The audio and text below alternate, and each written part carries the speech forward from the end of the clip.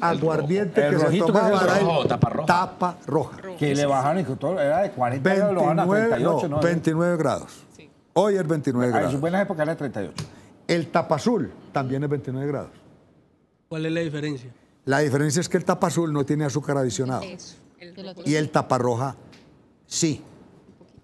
Y hoy le doy las cifras. En Colombia nosotros, podemos, nosotros vendemos 60 millones de botellas. De eso eh, se venden aproximadamente 70% aguardiente, 30% ron. Es decir, 42 millones de botellas de aguardiente y 18 millones de botellas de ron. Dentro del aguardiente, de esas 70%, se vende tapa azul 85, tapa roja el 15.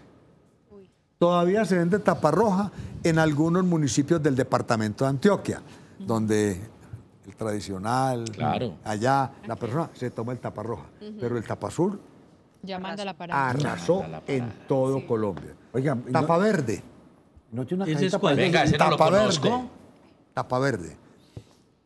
Resulta que en Cundinamarca, eh, Néctar Sí. saca un aguardiente 24 grados. Más Y suavecito. nos estaban barriendo. Entonces nosotros ya sacamos en Cundinamarca un tapa verde 24 grados.